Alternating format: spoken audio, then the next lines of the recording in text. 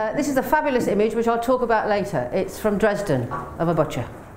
Glorious, glorious image. Now, so it's becoming clear that Roman um, society in Italy and the wider Europe functioned on a multi-layered hierarchical structure uh, with a huge diversity of wealth and status. So the simple binary opposition of rich and poor, elite and sub-elite just doesn't work. There's huge levels, enormous levels of society and people at the top look down and the next one down looks down and looks down and looks down. And you can't just talk about rich and poor. Uh, access to meat is actually much more important to many of th these groups of society in the middle. The middle class in Roman society, which people don't like to talk about because it harbours back to what we think of as the middle class now. But actually, it was all it was either freed, you were fr freed men, or the, the descendants of freed men, and you were tradesmen, you had skill, you had income, you had access to meat, you had aspiration, and you had a desire to do to do better and to do what your what what the next level of society did. You were always looking up. And actually access to meat generally was more important because of the sacrificial process. Uh, the sacrificial slaughter and the subsequent um, division of sacred beasts, mainly sheep, pigs and cattle, occurred so often and so regularly in towns and cities that meat per se, i.e. muscle meat, was commonplace and not special so that the elite had to find other ways to differentiate. So it, meat may have been relatively expensive, but it was not special enough. So the elite are looking for ways to differentiate. And they choose increasingly rare and bizarre forms of offal to do so, but also game and seafood. So the sacrificial process and what happens to the offal during a Roman sacrifice is hard to understand. The sources are very confused. But there seems to be a play, uh, um, a, a, play by Aristophanes, so we're talking early Greek, called Peace, in which a small scale family ritual of sacrifice is described in great detail. Uh, and the offal, which is called splankna, is the pluck. So it's heart, lungs, liver, spleen, and kidneys. And they are inspected for flaws, as we expect, uh, but only by the person who has, who has paid for and is the master of the household and then they are consumed with some relish. After being spit roasted, the innards are the honorific portion of the sacrifice of the meat, and they're usually given to the sacrificer, the person who pays, and he decides who else gets it. Um, and they are spit roasted, while the rest of the animal is divided amongst those that are present, but it's less valued. So, the Balkan tradition of spit roasting the offal, um, around a spit by the side of, of the beast and then wrapping it in the um, intestines very tightly and spit roasting it together almost certainly goes back to this, this process. Right, so in the Roman sources there is a suggestion that some of the offal is actually burnt up completely on the altar. It is taken out of the culinary sphere and not available the Jewish practice, for instance, from the Old Testament was to offer on the altar for burning the kidney, the omentum, the core, and all the fat with the lobe of liver. And this was rendered unacceptable, un unaccessible, sacred and unobtainable. And in fact, it's, it's burnt up and the gases rise into Olympus and the gods are supposed to consume the gases. That's the theory. But so there's a clearly a potential uh, for a similar situation in Roman sacrifices, or we don't know for sure. When a sow is ceremonially sacrificed, the desirable offal, the liver, kidney, gland, testicles, even the uterus and udder, as we will discover, the uterus and udder were the most desirable, um, were potentially un unobtainable for elite banquets and may have been generally part of the roasted meat that was incorporated into the feast that occurred after the slaughter. Alternatively, alternatively they may have been expropriated by the elite and uh, sold on the market, but we don't know. There is an ongoing debate as to whether all ancient meat was of, of, of quadrupeds was sacrificed and considered sacred, or that there was a kind of secular butchery going on to furnish the tables of the elite with desirable offal. And there's a, there's a huge amount of desirable offal, offal required. Uh, and um, there has to be, uh, uh, there has to be, I think, a non-ceremonial slaughter of animals especially of sows, for meat. It may be that, for instance, in naturally enlarged livers, which were the most desirable, were removed from the sacred sphere for later consumption. Certainly, fattening pigs with figs to enlarge the livers, which is, uh, according to Pliny, what Marcus Gavius Apicius suggested ought to be done, um, these cannot have been slaughtered in a sacrificial process. Uh, and, and the value placed on particularly pork offal may be the reason why there is a conflict about what is sacred and what is secular. From the literary text, it does seem as if access to certain body parts, such as the sumen, the udder, and the vulva, the uterus, do seem to be significant of gourmet consumption and therefore status. But it does depend on context, and the retention of all these organs by the elite does not seem tenable. Some forms of offal were deemed as modest and suitable for less prestigious occasions, so the head is a suitable modest feast, it seems. And as we can see from this wonderful image, which comes from Dresden, this is an ordinary pork butcher and he's preparing belly pork. He has a couple of heads that he split in half. He has the pluck and the trotters, and he has belly pork from a sow. Um, it's not udder yet. It's, uh, it's, it's flat. There's no, there's no swelling, so we, have, we, we just have belly pork. There's a real problem about how they illustrated the food that they consumed. And there's a, um, a scholar called Darmes who has, has um, determined that he's seen in, in, in paintings and, and things like this an udder, but I, I dispute it. I think it's not, it's not actually there. All you do see is the nipples, and these, this could be a male pig. uh, um, the elite literary perspective on offal access in satire has been used by modern scholars to create a definitive structure to access to meat by dividing the body parts of the pig to different classes. But the reality is far more complex, and access to all body parts by all classes, I think, is much more likely at, at certain circumstances. So in the early 2nd century BC, pig offal was seen as indicative of fancy food for special occasions. And as we can see from the characters in Plautus, who while comfortably off are not deemed to be elite. Um, by any means, are found to be emphasising their ability to serve special forms of sows, offal such as sumen. And I think it's interesting that it's, it's pre-boiled. I find that fascinating. I, I, want, I would like to cook them, but of course getting access is very, very difficult. The description of elite meals in satire contrived to enlist exotic game offal, so particularly game offal, and seafood, along with sows' sexual organs, particularly sumen. It signifies an expensive, rare, risque and controversial food in satire. While we can see, for instance, that in Trimalchio's feast, he reveals his common background. He's a common freedman because all he wants is roasted pork. Rather fancily displayed, but it's still just roasted pork.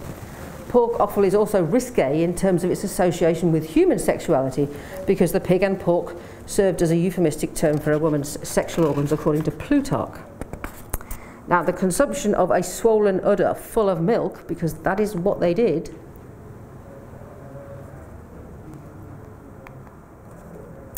um, does seem to remind one of Freud's idea about the male child, the male child's obsession with his mother. Sow offal consumption is also risque because there does seem to be some kind of prohibition, sumptuary legislation against it.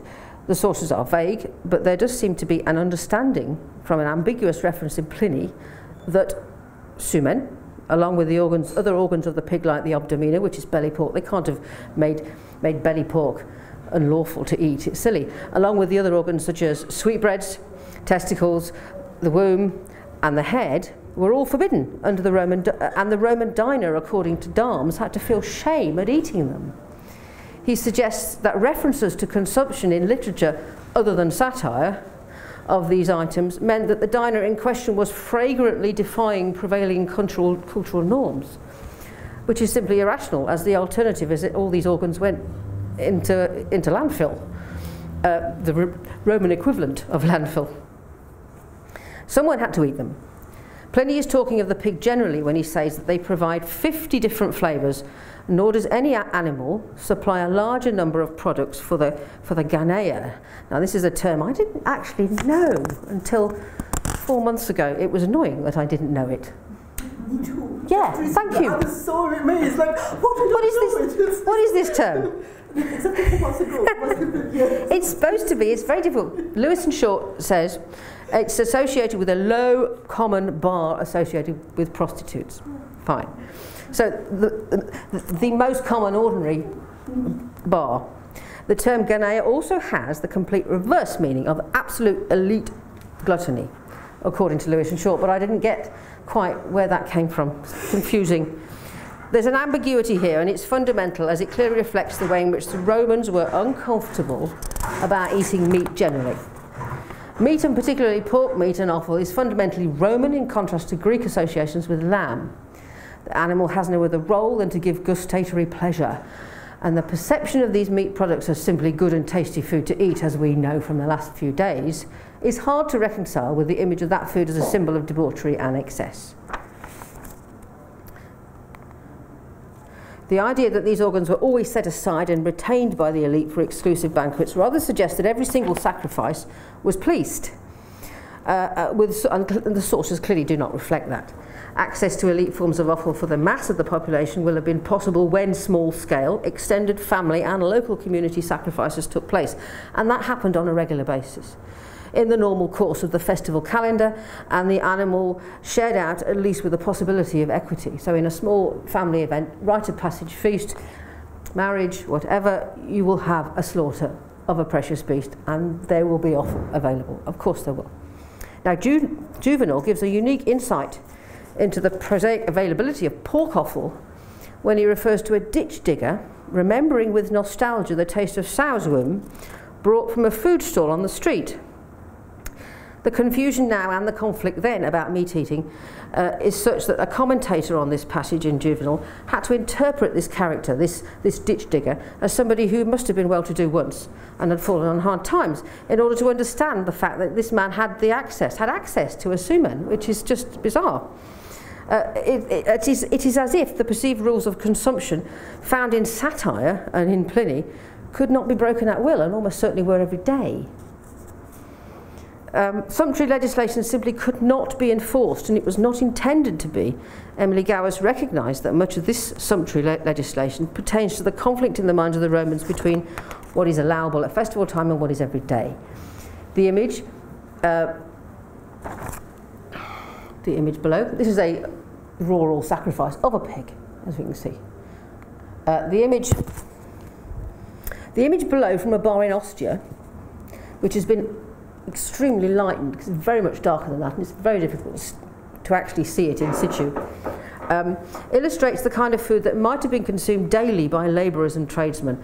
The plate contains a carrot or possibly a radish, two small skewers, and even though it's very difficult, I know, but there, is, there are chunks of meat down that skewer. With a hint of a suggestion of meat, and a pile of round objects that might be lentils, they might be olives, it's hard to tell. What we can be sure of is that the cup in the centre of them is a sauce cup for dipping the carrot or the um, um, radish, uh, as the image next to it clearly illustrates a wine cup, because we know those are wine cups. And so that cup in the middle of the round things cannot, cannot be for wine. And for com completeness sake, we will say that that's a set of maracas and they were able to have entertainment and dancing while they were eating. But there is meat on a plate available in a street bar in Ostia. There is, however, some indication of a market in preserved offal too. Pliny makes little reference to offal as a food, but he lists huge amounts of offal from numerous animals being used in medicinal re remedies. So, for instance, pain in the kidneys is treated with the kidney of a hare, while roasted she-goat liver for a night blindness. And he says that lungs are preserved in salt particularly for medicine. And so there is a huge market in these products for medicine.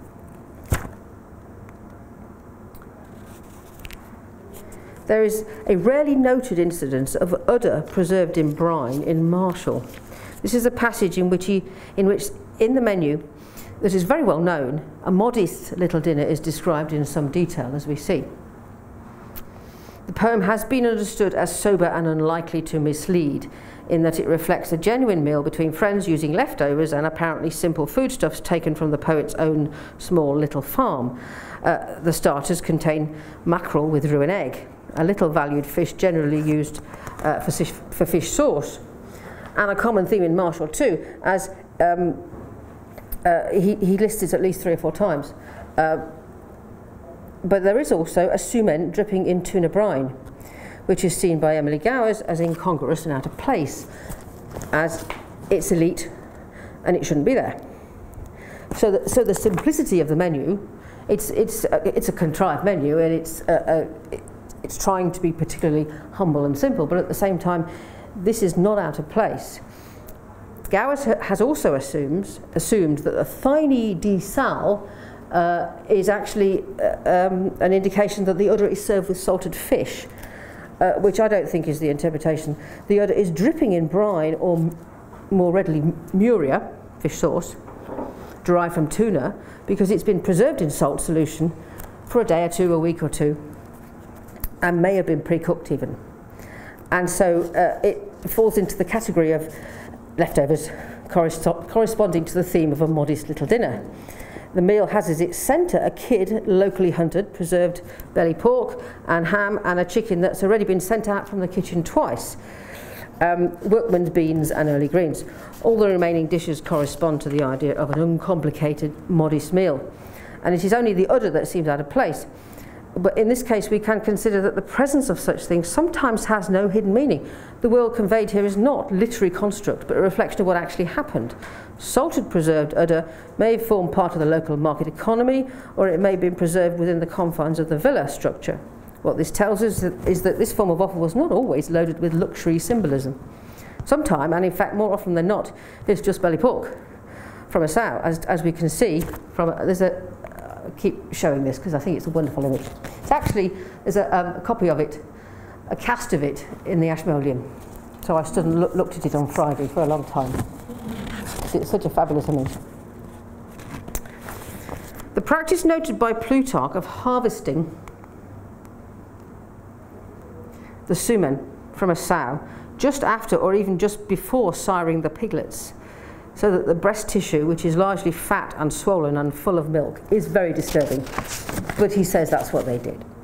He says even that they kick in order to force the sow to abort so that they can get the the udder swollen with milk. It's a very it's a very grim image. Sometimes I think he's just exaggerating for the purposes of condemning and it didn't really happen.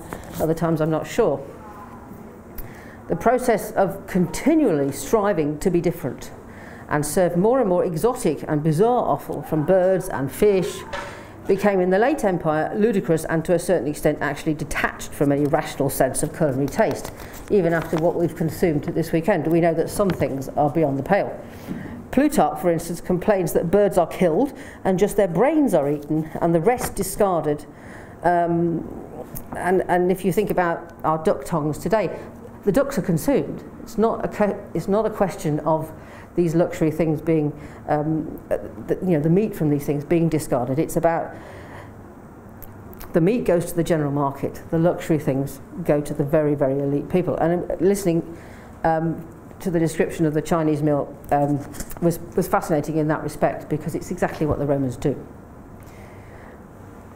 It, it comes to a peak, it seems, with the menus of the Emperor Vitellius, ever the extremist in dining, according to the sources, who seem to delight in impossibly rare offal. A patina or frittata, which is basically an omelette, made from flamingo brains and tongue and fish liver, as described by Suetonius, would actually look like grey sludge in a ceramic dish. And um, uh, uh, probably taste no better, to be honest. How are you doing, Sally? Two, uh, two, three, four more minutes? Two? Yeah, that's fine. Okay. I've only got two pages to go. Four minutes? Three minutes? Have, have four minutes. Have four minutes, thank you. You must come quick. I will. Yeah, I'm talking quickly, I always do. Uh, the importance of rarity and the concurrent waste has topped every aspect of taste and logic, and one has to pity the guests who had to pretend to delight in such things. I think they had to pretend. He once served for 10 successive, successive days 30 wild wild boar sow's udder with its womb attached and no other meat. The rest of the sow unwanted for him and no doubt on sale in the market for everybody else.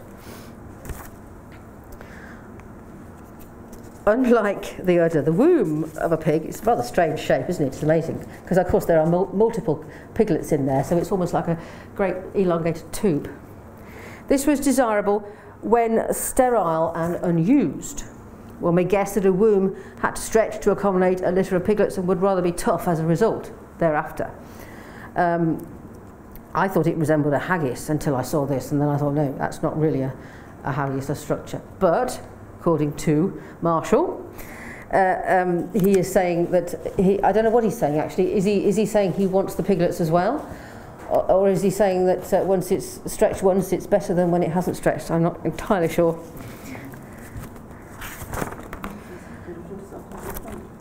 Now, offal Ophilinopicius is, is interesting because it is, uh, there are a, a whole section of luxury items and all the offal is placed in this section. Uh, and so we have sumen, we have a few recipes for sumen and, uh, and for womb, uh, which in terms of the other recipes are simply straightforward. They're not um, exceptional in the way that they are seasoned or anything like that. There is a predominance of silphium, which points to a more upmarket seasoning, but otherwise unremarkable. The wulwa is not stuffed. Um, it's just served with a sauce, and it's probably cut up quite small and probably look like tripe. Um, what does seem strange to our eyes is the inclusion in this section of callum skin. Obviously tripe is there too, but callum is strange because it's, it's, it seems to be the most commonplace of items on a pig because of the texture, because of the texture. Uh, we hear from Pliny that Cato the censor in 184 BC denounced the consumption of wild boar skin, aprunum callum. It's hard to understand what is behind this condemnation, as once the beast has been slaughtered, why not consume it all? Cato was notorious, of course, for complaining, for complaining in the Senate about many things to do with other people's diet, which they no doubt consider none of his business, and we must take with a pinch of salt. It doesn't mean that people were not allowed to eat it. It was just that one silly little old man in the Senate said you shouldn't. And finally, we cannot finish without a mention of that notorious fermented fish guts known as garum. Um, the introduction of this black and bloody viscera garum made from designated fish is, I believe, a manifestation of a rush to create distance from the masses and create added value to common foodstuffs. So, so true garum, liquamen, as I have published elsewhere, was a commonplace fish sauce made from small sardine and anchovy and used universally as an equi equivalent to salt and uh, at the beginning predominantly in vegetarian food. Uh, the need to differentiate led to a market for added value in products such as fish sauce and resulted in larger species that would normally be sold as salted fish being used to make fish sauce. So we use mackerel, we use tuna, we use mullet, And the development of the black and bloody garum made just from specific, species-specific viscera and blood is the next stage.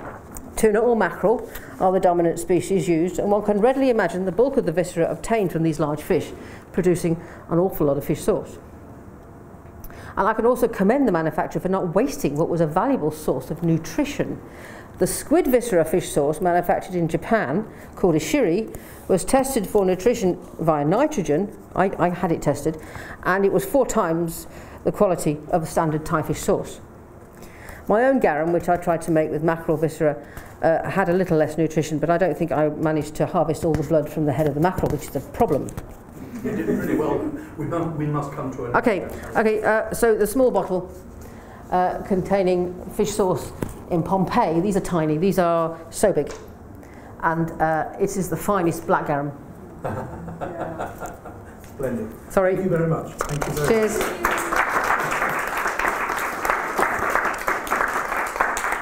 And I'm sorry to cut you off in That's this okay. flow. Let's have some questions to Sally now. There's one. I wonder if you could elaborate a bit about what you said. The animals weren't always sacrificial. Um, do you mean by legislation or by practice? By practice, I think they, they, they don't tell us. But there has to be a secular butchery. There are huge butchery, there are huge butcher um, structures and meat markets in every town. And um, the animals, and, and in fact we hear specifically from a writer whose name escapes me, that there is a different procedure for selecting the beast, whether or not it's for sacrifice or for, for the market. I think it was still sacrificed in the sense that there was a ritual attached, but it was not in honour of a god, and it was not in front of an altar, and it was not uh, specially bled, and the, uh, and, and the liver necessarily inspected in the same way. What was the difference between the sort of lavage treated pig, this that is is pigs? Why Uh, can't they be sacrificial? Uh, because the liver possibly is taken out of the sphere, and the whole point of feeding it with figs is to get a fattened liver. I suspect. Hmm. Yeah. Yes, thank you, Sally. Fantastic talk. Uh, I just wanted to uh, disagree a little bit about, uh, you? um, uh, you know, the, this Martial uh, Yes. episode about both this, um, like, um, Lacertus rotatus, the mackerel with, with rue. Yeah. There's a recipe for it in Apicius. There- well, there is, yeah. And also uh, with this um, sumen with uh, ma- ma- Magidus, um, yeah, uh, there is, I think there's it's either sumen or vulva in Apicius, which is actually served quite simply with halak. So I think this is uh, this is a condiment more than uh, Conserved with halak? So I, I would I would say that. Uh, But uh, is, is a thick product. yeah, I know, but Yeah. still, I mean, this kind of salt uh, salty fish thing. To me, it suggests more the way of serving than the way of preserving it. But anyway, so- Mm. Yeah, no, we can do- I think yeah. yeah. Thank you. My, my five Yeah, seems a possibility. There's one. I just want to say that uh, that you mentioned other or other or Yeah, I, I don't yes. know how to pronounce it. Uh, in Turkey, I want to just add uh, some Do. information. Uh, in Turkey, we have sweet breads, you know, Yes. And it is very cheap when we are eating it in, in a street food stall. Sure. Street food stall. And I just asked my my liver shop uh, uh, person that Yes. that what is it because it's so cheap but if i buy sweetbreads in a, in a uh, liver shop it's like one kilo is like 40 turkish liras Yeah, yeah. but if i buy some sweetbread thing it's just one lira and they said to me that uh, it is other it's uh, because Really? they, They can't- the texture They can't get enough sweetbread, Yes. so they use udder instead. Yes, Ah! they don't know and, uh, I need to go. I need to go back to Istanbul. Sütlüce not all the Sütlüce's uh, sweetbreads uh, restaurants, not, not all that they are No. serving this, but Oh wow. most, mostly the cheapest ones. Next time I come back, can I can, can you take me to a bar which sells it? Because I want to taste it. It's my pleasure. We have to find the worst place, but you know. yes. And we have to go the cheapest place The cheapest possible. place, Make because- sure that That's great. I don't mind. I don't mind. If you- if you're okay with it. Any more questions for Sally now? There's one. Sumen is only uh, the pig? It's only the pig. Apparently, I, I was looking at Platina, and he uses cow's udder a lot. Uh, and, but but But- Uber is, Uh, is udder. Uber. Udder, U is, is sumen, udder. and what about Uber? Oh, sorry, um, vulva, uh, um, uterus of the pig too. Ah, No, no incidence of, no evidence at all, I don't think, of any other animals' vulva being used. Yes. Possibly was, of course, I don't know. It doesn't, doesn't say. Is that because they resemble humans or were thought to resemble humans? Or is that- I, g- well, I, yes, it's funny, isn't it? Yes, I don't know. There's, there's, there's definitely something weird going on with them, Oh, yes. with the, with the udder. Yes, definitely. Yeah, uh, it's uh, the paper is not actually about uh, Roman cuisine a lot. We do go to Rome at the beginning, but then we pass on to uh, the more modern developments. Well, but so as to uh, satisfy your craving for ancient Roman cuisine, uh, we'll start with ancient Rome. So brains in Roman cuisine, if we just count. Um, of all the uh, recipes in uh, collection ascribed to the Apicius, which is four, uh, 499 all told, 25 call for brains.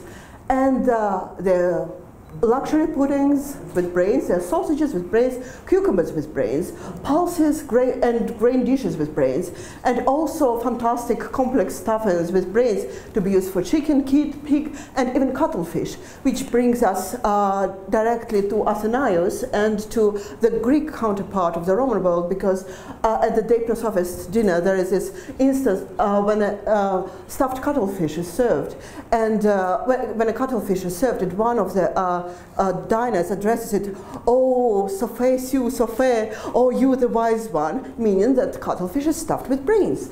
So uh, it seems to be a global uh, custom of adding brains to stuffing. And uh, if we look at it from this angle, it seems that the Roman chefs used uh, brains much like the French chefs of the 19th and 20th century used foie gras just to make it uh, uh, an extra uh, rich dim- dimension and um, of, or give it an extra rich dimension of flavor. But let's not forget that brains were also considered quite beneficial for one's health. And uh, we can see Celsus, Pliny, uh, Quintus Serenus Sammonicus, and all other authorities writing on medicine uh, proclaiming the values of uh, brain in diet and brain as co- uh, counteragent for many diseases. Uh, I suspect that camel's brain, camel brains and dog brains and bird brains were not wanted because of their gustatory characteristics, but because they were supposed to be good for you. So in Rome, brains are very much the, uh, the thing, but the one thing that we can see, uh, which is contrary to our nowadays practice, perhaps, you see that there is no separate recipe of brains, unlike uh, recipes for sumen and vulva.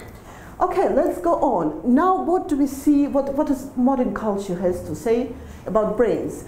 Now, I have tried to look up the most uh, popular um, internet resources, uh, cooking resources, to see what, what can they answer me. Um, now, do you think, is there any brain in there? Who can venture a guess?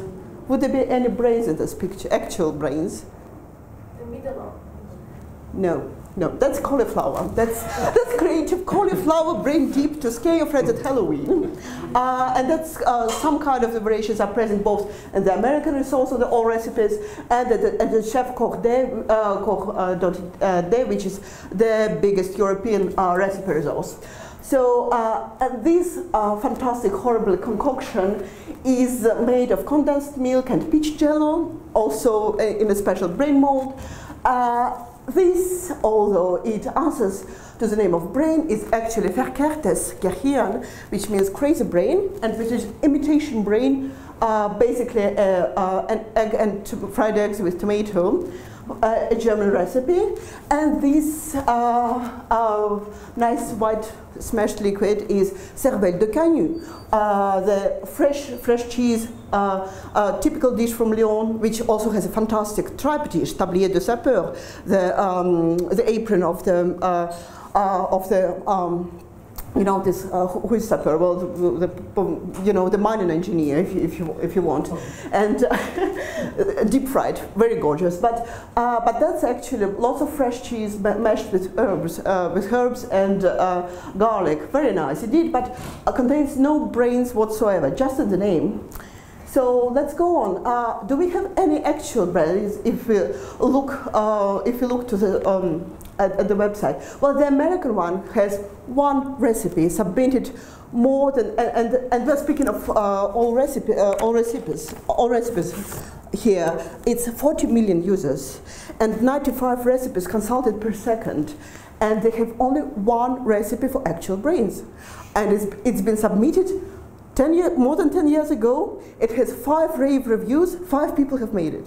so that, that, that, that tells you about the popularity of brains in America, which is a bit strange because if we go to Amazon.com, we find fantastic product called pork brains with milk gravy. You know, just you can get uh, shipped. You, if you are in the States, you can get your pork brains in a can, in milk gravy. And we have fantastic re- reviews. I, I, I, yeah, if you want to read them, you can, you, can, you can consult my paper. I have more of these. And I've checked, those people are not trolling. They actually write lots of other product reviews. It, it's just a style. So, um, so uh, pork brains do seem to be popular amongst us. Uh, certain circles of American society, especially in the South, where it's considered more of a regional specialty. But what about Europe? If uh, uh, we do a brain search on European cooking websites, both German and French, we discover we, we do have maybe a couple of actual brain recipes, but we're inundated with uh, uh, recipes uh, for, uh, for and with cervelas in the case of, if we search for cervelle, the French word for brain, and we have sausages called Hirnwurst, or it's called Bregenwurst, uh, in case if we search for the German word Gehirn, which is brain. So it's bizarre because these sausages do not contain brains. But however, uh, it's interesting to, to, uh, to, to, look at this closer because you know there's so many sausages with brain names and no brains. Uh, it was not often, uh, it was not always the case that they didn't have any brains. So uh, even in 1877, we have an, a, a British journalist quite um, um, very much sarcastic about the things that uh, are named for, uh, for, uh, for the stuff that's no longer in them, like cervelas without brains and cheesecake uh, cakes without curds. Uh, because at that point, cheesecakes in, the, in Britain were often made with egg creams, so no curds actually. So at, in the 19th century, cervelas was perceived as a brain sausage still. But uh, let's look at all those, you know, sausages with the uh, brain names. Can you distinguish which one is which and can you name it? So um, is somebody up to recognizing something? Which, uh, what name well, could we put to the sausage? So this is actually the old British saveloy, uh, very famous in Australia as well, but I don't know if it's red skinned in Australia, is it? Battered I think you better them, yeah, so you don't see the skin. I actually uh, got this picture in a London chippy. I just walked into the chippy, and lo and behold, there was saveloy there, uh, which is a corruption of the word cervelas, actually. And this is uh, the, uh, the, French cervelas from Lorraine, and it's, uh, it has this, again, very ugly uh, um, red skin, which doesn't belong to it. It's just plastic. And this is the Hirnwurst, the brain sausage, which is also called Gelbwurst in uh, Bavaria, as you see by the markings, you know, white and blue things, which is traditional South German sausages, again with no brains, but called after brains, and with this yellow skin. And this is this, uh, the, the sausage of Switzerland, Cervelat, which is uh, now in the um, officially part of Swiss gastronomic heritage. It's so popular. As you see, they don't look uh, quite similar, but let's see if we can find something that unites them. So uh, I've tried to see whether we have uh, a timeline for the names uh, of uh, the cervelat, um, which comes from the Latin cerebellum, the brain. And uh, uh, if we have the timeline for recipes uh, of sausages that do contain brains, and some of them cross, but not all of them. So the funny thing about uh, the cervelata uh, is uh, no recipe of, of uh, cervelata, cervelas, and saveloy or saffalade, which I was able to find um, until now, contain any brains at all. So it's all totally brain free. Uh, whereas Apicius call, calls uh, the brain sausage that, um, uh, that is in, uh, in Apicius, uh, the Apician brain sausage is called farcimen, not at all the cerebellatum, but it is made mostly of brains. And then uh, the earliest recipes I've managed to find of brain sausages is the Bregenwurst, and the Hirnwurst, Bregenwurst, in mid-19th century, in uh, Bernardin Westing's book on household co cookery, uh, where Hirnwurst and Bregenwurst are interchangeable. They're all made of pork meat mashed with pork brains. Since then, they have diverged, um, uh, diverged because Bregenwurst is now a northern thing, and uh, Hirnwurst is now a thing of southern Germany. Uh, and both of them don't contain brains whatsoever. So, and we also have a fantastic Russian recipe, which I have no idea where it comes from, presumably German or maybe an elegant French tradition, uh, of, uh, of sausages made with uh, calf brains, uh, white bread soaked in cream, egg yolks, and poached in milk, and then fri- uh, pan fried, browned in butter. So it's just a big luxury recipe, but you know, it's all water under the bridge. We don't have it any, any longer. And then there's a Gelbwurst. We have this Gelbwurst, which is a uh, uh, synonymous with Hirnwurst, and which has, that, that's the last instance of the brain recipe of sausage that actually con- uh, contains brain, because uh, Hermann Koch wrote in his treatises of, on sausages that it should contain no less than 25% of brains. After that, zero.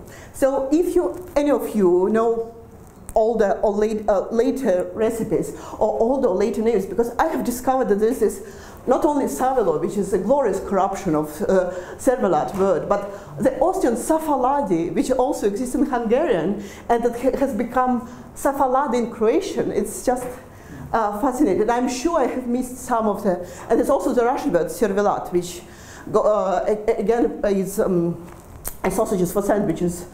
Uh, so let's see if we can make, if there's any method to this madness, let's see. Now, it all sounds pretty obscure to you, but um, the earliest recipe that we have is uh, Maestro Martino, because Anonimo Meridionale in Italian does quote the name Cervelata, but doesn't give the recipe. The, uh, the manuscript is, uh, doesn't, doesn't have this actual recipe. And Maestro Martino actually uh, suggests making cervelate with lots of cheese and uh, also to color this uh, exquisite sausage with, uh, with saffron to make it golden. So let's see. So with the blue stars, I have marked the br- brain sausages, which are called brain sausages, but do, which don't uh, have any special color. Yellow stars are those brain sausages that do have yellow color, and red stars are the sausages that have spe- specific red color. So, uh, so in my opinion, there is uh, this uh, tradition of a sausage, of a brain, initially a brain sausage that ha- has been colored from um, uh, um, well, that had a colored coating. First, you know, the, the saffron coating in Maestro Martino, and then uh, with, uh, you know, with development of processed foods, it just became a plastic coating. So, and it went from northern Italy to, um, well, well, Martino worked in Rome, obviously, but there's this fantastic, um, almost obsolete sausage in Milano, which used to be a part of um, uh, risotto milanese, the famous risotto milanese, and it used to contain both saffron and brains in the 19th, in the 19th century, but I, I don't have any textual uh, primary sources evidence uh, to that, uh, so I haven't put it uh, onto the list yet. But so there is this um, Maestro Martino Cervelata has cheese. Uh, this yellow triangle is for cheese. Uh, Milanese uh, also has uh, uh, cervela, as they call it in Milanese dialect, also has cheese. Another yellow triangle. Uh, then there is a famous Cervelata di Puglia, which is actually a kind of sausage uh, made, uh, no coloring, but is, it is made with a lot of pecorino added in it. So again, we have cheese all over Italy. And then here's just uh, some very bizarre cervellata from Calabria, which is just a no, regular sausage. I have no idea why they call it cervellata because it's just a basic kind of Italian sausage. Uh, but you know, that's how the um, food names distribution works. And then again in Alsace, where we have this kind of uh, um, balance, you know, the eastern France, where we have a balance between uh, cervelas as a, a sausage in Lyonnaise tradition, like Paul, Paul tradition, when you bake it in brioche and so on, it's all very fine dining and so on. And we have this kind of very cheap sausage sliced for breakfast in red coat. They also have a specific uh, uh, tradition to have it uh, liberally stuffed with cheese as a dish. So you just stuff it. It's not uh, the cheese is not uh, uh, when it comes uh, home from the butcher, but uh, when you, but you are supposed to cook it with plenty of cheese inside. So I put another uh, yellow triangle for cheese. You see, you see, we have this cheese line getting here, and we have this kind of colored colored lines getting the yellow line, which which go, goes straight to Bavaria to Gelb, Gelbwurst. Uh, and uh, which is also Hirnwurst, which is may or not may not be colored yellow. So um, I think basically uh, it does seem that we have a family of European crypto brain sausages that have transformed over centuries beyond all recognition. And uh, brains remaining only in names as a shadow of former awful glory. Thank you.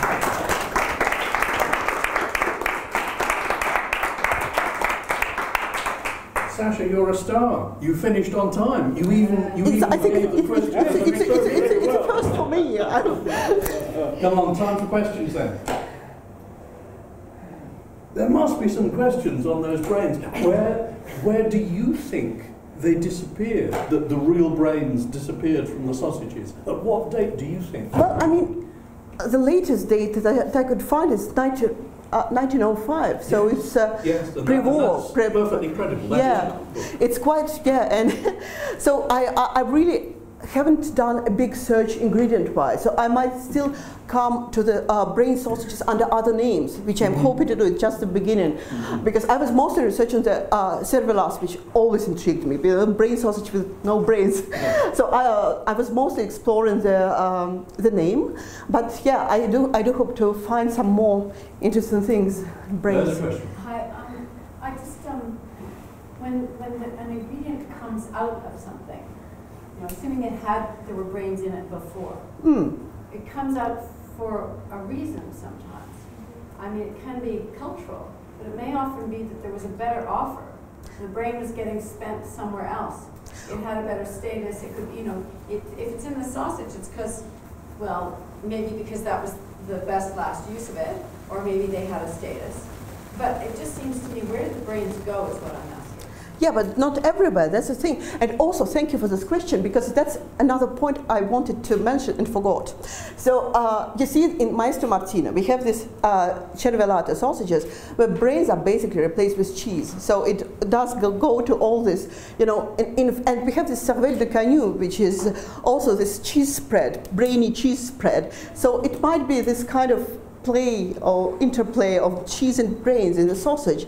It might have been a more uh, maybe Maestro Martino elaborated a more interesting sausage with cheese. We will never know. So, but but uh, uh, it it seems like cheese became quite a part of you know brain sausages tradition, at least uh, around Italy. So. Um, that's one way uh, where brains might have disappeared because brains are still eaten in Italy uh, quite a lot, and all regions have their own specialties. You'll find the deep fried brains, well, or the pan fried bra- brains, crumbed brains in uh, um, Milano. But uh, when I asked the Sardinian guys, how do you eat the brains? They said, oh, right, with a spoon. Like, yes? Well, we roast the whole animal, you see, and then we just eat the brains with a spoon. So you see, yeah, to each its own. I'm just saying, maybe the price of brains went up, and, and then they. It could be, but there's a lot of, as you see, there's a big time period, so it's it would be very interesting to see in all uh, events, but a, a bit impossible at this moment. I saw Ray first and then. You know, I, I have a similar question, Mm. but you don't think it could just be a matter of fashion? Could be. I mean, uh, but I, I, it, there's certainly we, we have evidence that there were brain sausages. There were sausages made with brains. Yeah. Some of them are both uh, had the name of brain sausages in German and also contained brains. So I think it's fair enough to surmise that uh, cervellata at some point had brains as well. It's just that they got kind of uh, they are out of the equation uh, in our sources. Uh, When, do you have a speculation as to why they put them in in the first place? The brains, Yeah. because it's very nice and savory, I would say. Or Uh, not, maybe not nice and- texture? Well, maybe for texture, maybe because it's it wouldn't be about you know the, it's about soft spreadable sausage, and it's Yeah. not about something that's dry and hard. Yeah. So it might have been you know to get a better mouthful, a better texture. And again, we can't rule out medicinal principles, like Sally said and Fuchsia said that brains were considered, at least in antiquity, they were considered very good for you, and it might have been you know many of the dishes that we know uh, have been con- concocted with regard to medicine. So that's that's also a possibility. And then it just disappeared from the medicinal uh, um, um, fashion of the day, and they got dropped. Exactly. Another, Right, right. yeah. Uh, think, think for a moment of Fuchsia's description of um, chicken testicles. You Yeah. know, like biting into a membrane and finding creme caramel in the middle Mm. of it. I mean, I don't know whether that's the ideal texture for testicles. I can't quite comment, but, uh, but it's, um, the texture is complex. Have, have you never eaten and culturally, and culturally specific? yes, yes. Uh, now, now you, you had a question. I am just wondering how, it would be interesting to look at how um, recipes for sausages generally fell away. I mean, you could, most of the cookbooks you buy today wouldn't have any recipes for sausages. Yeah. wouldn't make them. So I'm just wondering if the, that might be part of the element that in the early part of the 20th century people tended to stop making sausages at home because Yeah. were more commercial. It's also a very good point. Yeah, because it's more and more commercialized. Much is absolutely Yeah, I, I- I just it's so bizarre for me to find it in the Russian recipe book. It's our, it's actually it's our uh, Mrs. Beeton. That's Molokhovets. It's the uh, culinary bible of pre-revolutionary Russia, and finding this very elaborate, very elegant dish there was a very big surprise for me. Yeah. There's lots of services. Mm. Oh yeah, definitely. Anthony, speak. Um, if the brains are, are, are very fatty, Yeah. and, and, and so it, it seems to me, you know, that uh, a fatless sausage is not a good idea. So, it, it- you know, it's a way to have, have a nice high fat content in the sausage. And there are things that you can do with, with uh, other kinds of fat, you know, for cooking and stuff. Mm. So, uh, you know, it seems to me a very wise and economical thing for sausage. Mm, I think it was still a delicacy. It's more. It was not for economy reasons. It's for more for you know delicate texture. And of course, it's it was a uh, and of course it wouldn't keep. So it's just uh you you make the sausage and you immediately serve it. So that's um, that's a, it's kind of maybe not even the butcher's provision, but uh, indeed the home cook provision. Uh, so it seems to me. Yeah. Yeah, but still, you know, if you, if you see this, you know, this uh, uh, brain sausage recipes, you have this calf brains, egg yolks, and cream all together. So it doesn't seem to have a skimp of fat. They just wanted to make it even richer, even fatter, even nicer. No, I don't. I. It's an interesting point, but yeah, I, I should look it up. But I, I, I'll think about it. Yeah. You had a question? Just uh, two points. One, you use the word sausage, but we don't. I don't see the word sausage in Italy, so I'm confused. Are you talking about Oh, a yeah. product? Yes, well, that's that's the point. Let's go back. Yes, so that's exactly the point because there's oh, that was interesting. Do we, can we go back? Yeah, you see, so in Puglia, this is a salsiccia, a, fre- uh, a fresh sausage that you are supposed to boil. This with with pecorino. In uh, in uh, Calabria, this is a salumi. In uh, um, in Milan, it used to be more salsiccia style, I guess. In Maestro Martino, again, it would be more like a fresh sausage. Here in Croatia and here in Switzerland, it's smoked, but it's still more like a, uh, like you know this seasoned sausage. You know, more, more, more like more like. It's hard because Italy doesn't do this. This they don't do it in Italy. They uh, this kind of um, very Germanic style uh, sausage like. Box sausage. Oh, I don't know what, what's the English word for it. You know what the what what what is a proper English word for German-like sausages that you? Um, Already cooked. Smoked. yeah, they're already cooked and smoked, and then you just heat them up. Hmm? You can eat them cold. Well, you can, but you mostly do it. Oh, sorry. Yeah, yeah. I know. Yeah, it's. Uh, yeah, you just basically reheat them. You don't eat them cold, yeah, but you reheat them, and yeah, it's it's a German tradition. You, we don't. You just call it sausage in English. There's Yeah. no Yeah. no other way. Unfortunately, our um, ter- terminology is not uh, yeah, one for one. It's always overlaps a little bit, so it's very hard to make uh, adequate translations. We'll have to discuss this Yeah. further, I think. Um, Yeah. but, and we'll have to move on to Stefanos. Thank you very much, Stefan. You- Very good. Pleasure. Um, this uh, scene uh, takes place during a, a banquet uh, at Odysseus' palace, Ithaca, where suitors, Penelope's suitors, um, live expensively, ridiculously expensively, shamelessly, uh, at the expense of the absent king uh, Odysseus. Uh, prominent uh, suitor Antinous offers to a guest unrecognizable Odysseus um, a fine piece of meat. Uh, it's not a goat, traditionally the, um, the classic favorite of the Greeks. It's not lamb, it's not uh, suckling piglet, it's not uh, beef, Kobe beef, or uh, it's just guts and blood εμπλέκνησιστε και αίματος. Um, blood and guts was traditionally the, the share of the gods uh, during the bloody sacrifices uh, in the ancient Greek world. Could the wise uh, gods of Greece be deceived and cheated? Odysseus, Polymechanos, the man of many devices? We will see. The second Greek text comes about 3,000 years later, roughly. Uh, yes, it's a, it's a piece of Greek folk uh, about the finest of the sea.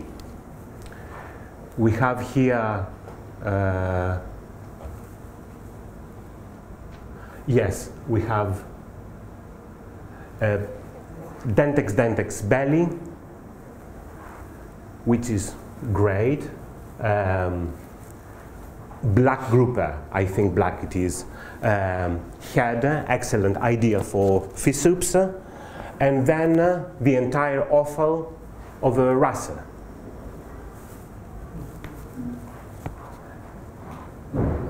I have left for the end um, this piece from uh, Athenaeus, Deipnosophists, uh, because it's the main dish here. It's offal in the Greek world from classical antiquity to Roman times and uh, Byzantium. Well, the, the, there are some intriguing things here. First, first thing is um, about the, how terms uh, are treated. Um, I will be more specific. We will dig in here. There is no distinction between types of intestines. So nobody, unless you know Greek, um, can understand what's the subject here. We know nothing. We cannot understand anything. So, we, and if you rely on translations, you're missing the whole thing. Um, uh, um, yes, the second is again about translation.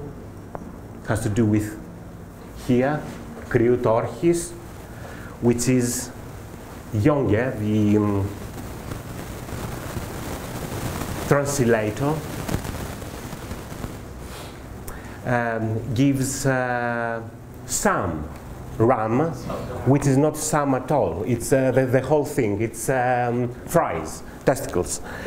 Uh, so, is it um, that uh, mid 18th century scholar uh, could not believe that uh, all elegant Greeks, uh, the Parthenon builders, uh, could have been that interested in uh, that sort of uh, repulsive dishes.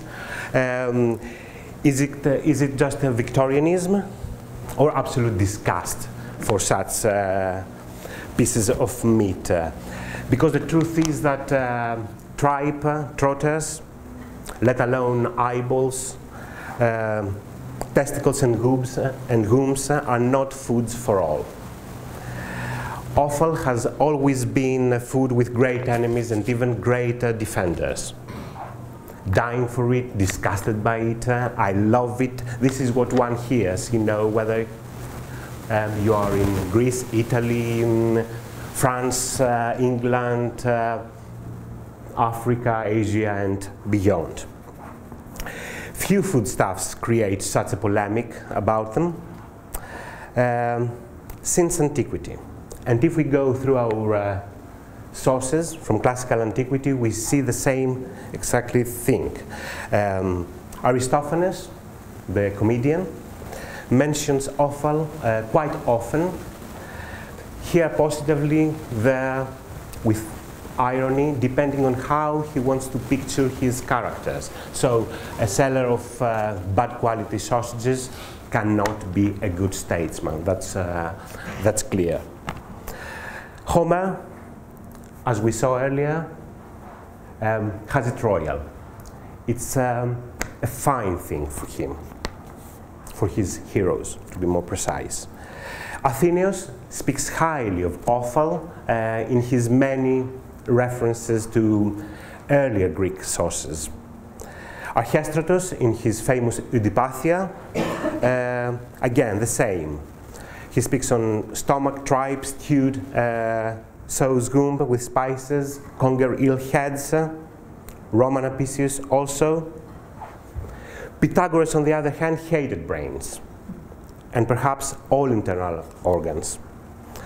Uh, medical doctors and dietitians uh, had written extensively on the properties of offal foodstuffs as well. Offal was uh, the food of the gods. This is what we mortals uh, could spare for them.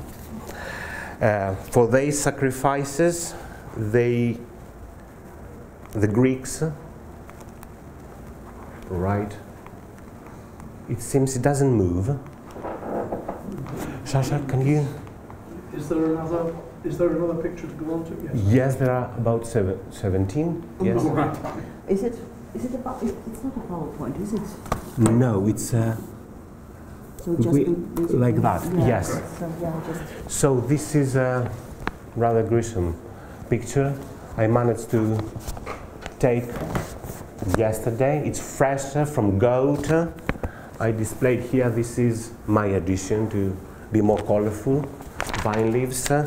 So this is what ancient Greeks uh, used uh, mainly for um, their blood sacrifices. They were spotting the proper animal, um, they were slaughtering it accordingly, uh, placing certain cuts on the altar, burn it, and then distributing, and then distribute the parts among the attendants of the ceremony. Most usually heart and stomach were, were the first to be removed uh, and the first to be eaten, I suppose, from the cavity after the slaughter. The smell of the burnt meat uh, was exactly what the, the gods had. Not even these the gods could enjoy. Th that was for, for us. Uh, so gods uh, were left only with the smell of the burning meat, the knisha, a still existing term uh, today. Uh,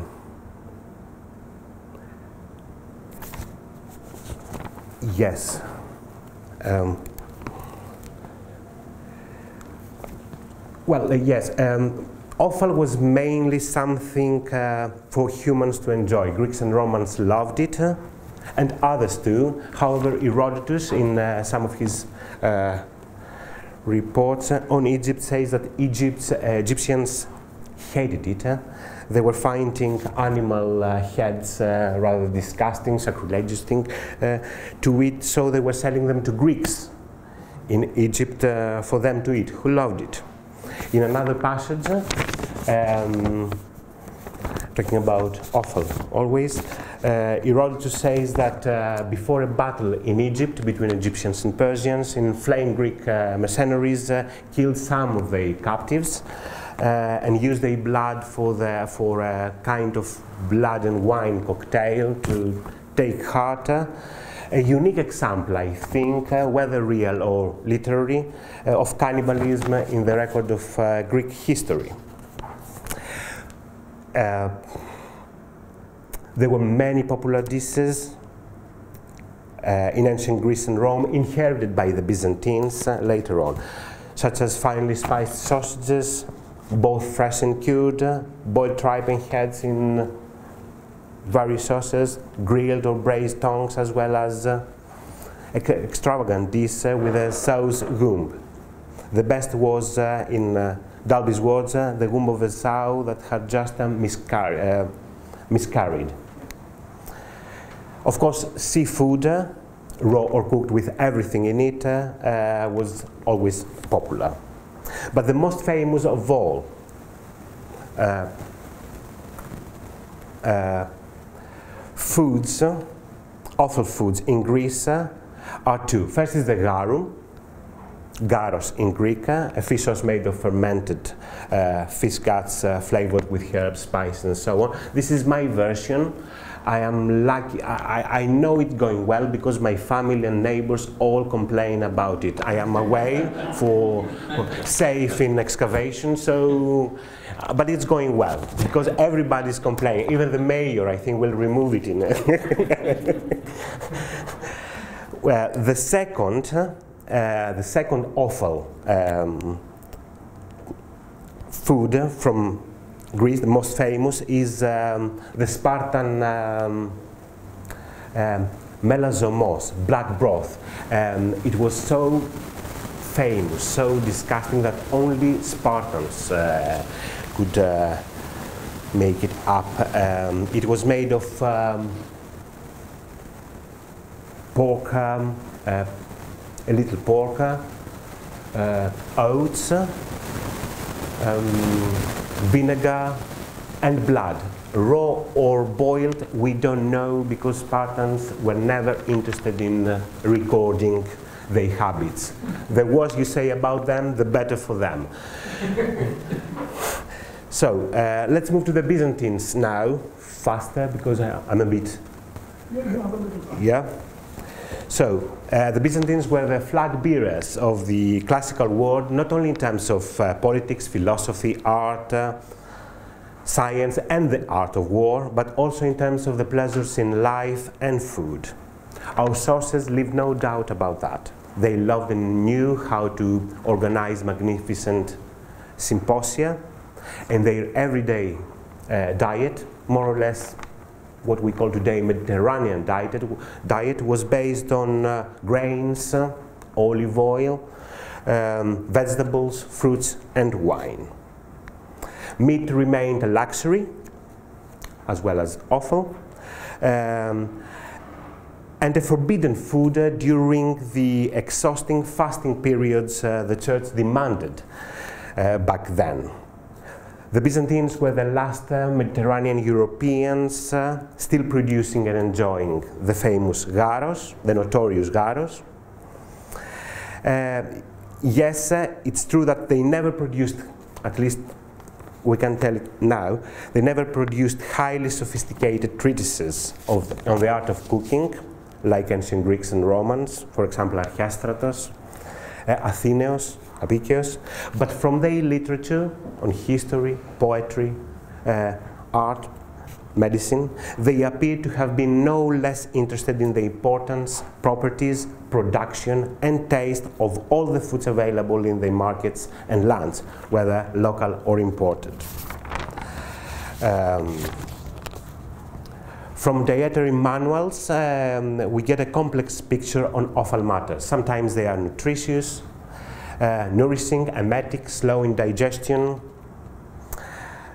uh, productive of bad humors, uh, phlegmatic blood. Some are cold, some, are, some other are described as hot, according to the Byzantine tradition of categorizing foods to cold and warm.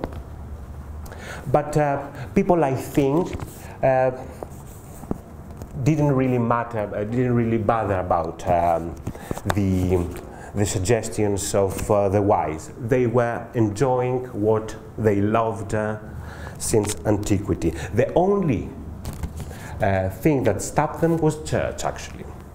It was the church that um,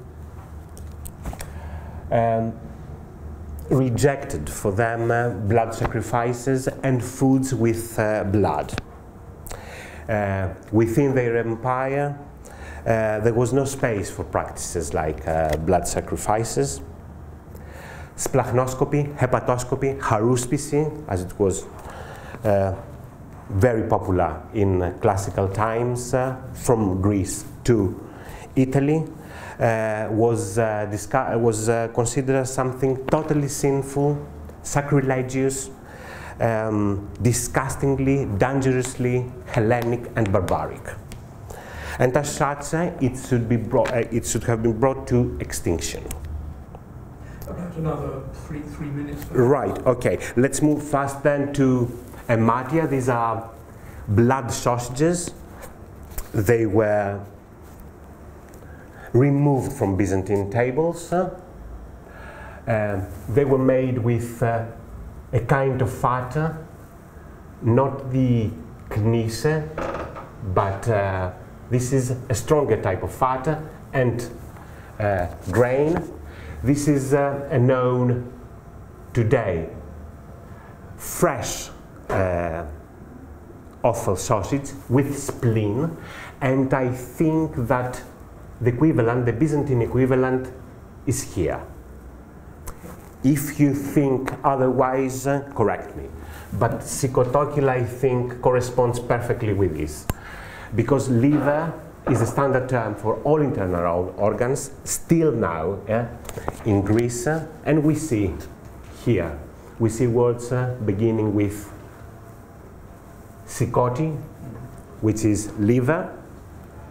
Um, compare it with words uh, beginning with intestines, because uh, here it's the intestine that is the basic um, um, ingredient for the recipe.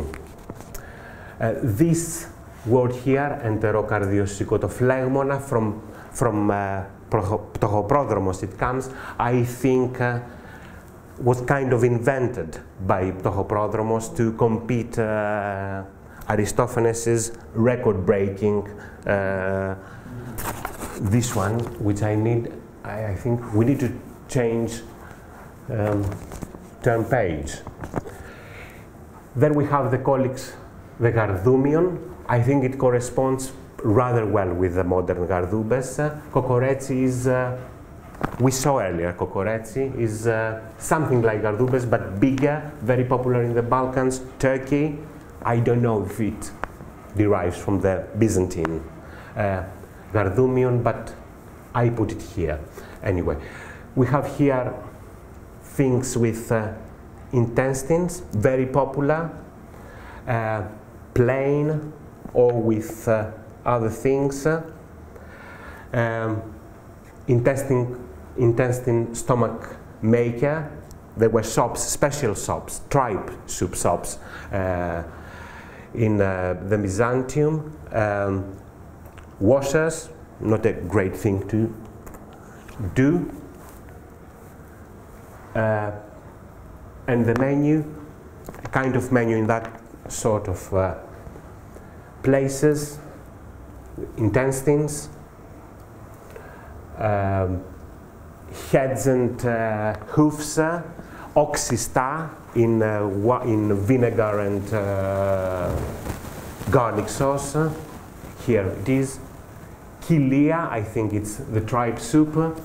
And then more elaborate uh, recipes like mastomagiri. I think uh, the, this compound word, the, the second part of it, shows more boiled, stewed. I think so. Mm. Uh, and then also other elaborate, very sophisticated offal dishes, this with uh, raisins. I think I should stop here because uh, we are running out of time. Thank you very much.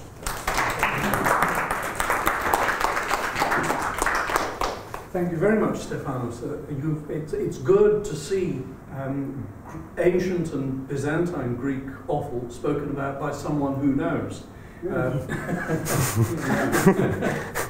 no, it's, uh, it, it's good because translators, you're quite right, have, have, have been all too vague in the past for one reason or another. Any questions there?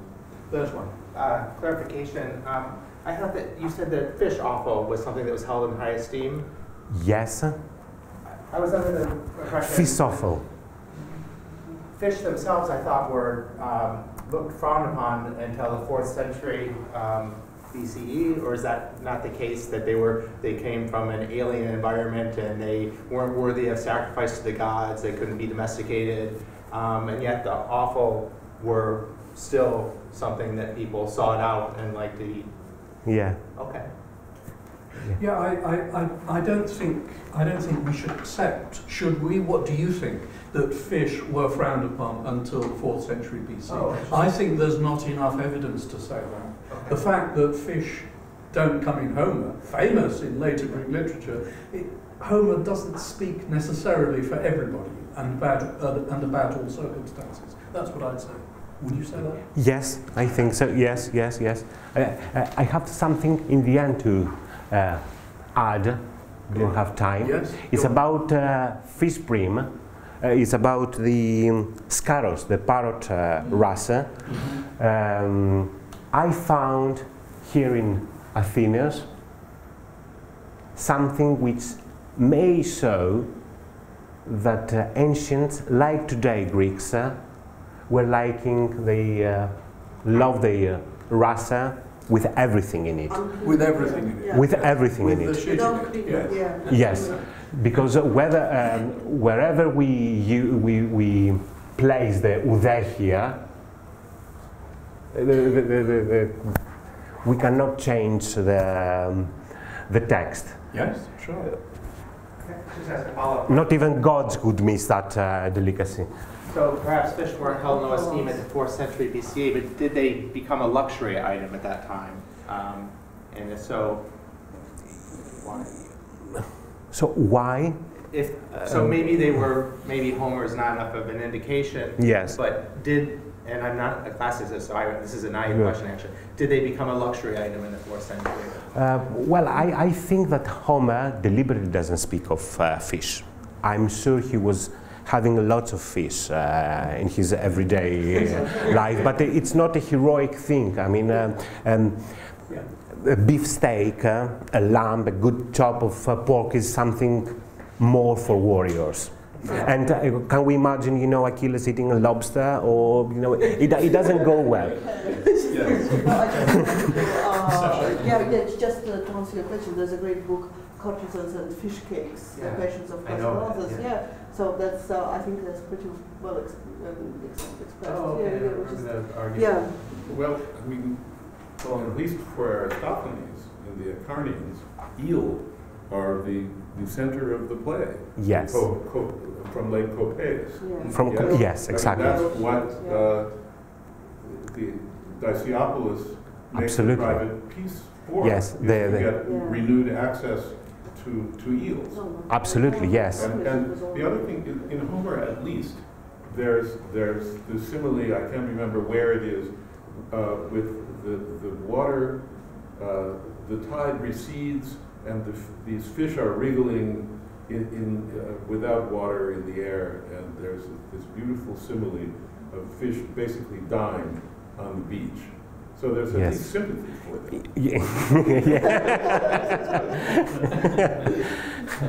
yes, yes, yes. Yeah, more than uh, yeah, there is sympathy for fish. Yes, I, I, I agree with you. More than ordinary people in Homer's mind, perhaps. it's only about heroes there, how they suffer, how they enjoy.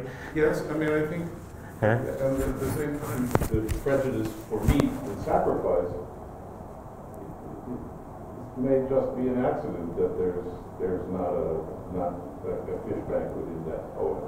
You know, it doesn't, it's not an I, ethnographic. I, I, no, I, I- I'd say it's really true that fish uh, were not sacrificed, except in very exceptional Well, no, I mean- But Yes. in general, it's really true that fish were not sacrificed to gods, but it's also true that wild animals, Yes. hunted animals, were not sacrificed to gods. Yes. And yet they're certainly, be domesticated, is that not the reason, or? sure, it is to do with domestication. and uh, domestication of fish has come quite a lot later. The, the, the, the, the first report on fish, uh, I remember, I can recall, comes from Herodotus again, is about Polycrates, a tyrant uh, Samos. He receives as a present uh, a, a beautiful big, big fish. Is it a tuna? I don't know. Uh, but it's the first time we hear that uh, a super fish uh, is given to the tyrant as a luxurious gift, and only a tyrant, only the leader of the city can enjoy such a feast. So uh, that's about Yeah, that, feast. that, that is certainly strong evidence of high status for. Yes. Yes. Other questions? If there aren't any, oh, there's, go on, I, I was out, I'm sorry. Yeah. But I missed the, di- the discussion about the righteous for the gods to throw away. Uh, Are you, are you talking about the, uh, the intestines of the fish? Not only the intestines, but uh, Unclean. uncleaned. Un- yes, exactly, yes. Uh, which is something few Greeks still do it today, and uh, we have this uh, here. The best uh, period to eat uh, the entire offal uncleaned it's May. So here, the man in the know says, uh, "Come on May, on the shore and eat uh, How about Russell's the uh, French tradition of everything."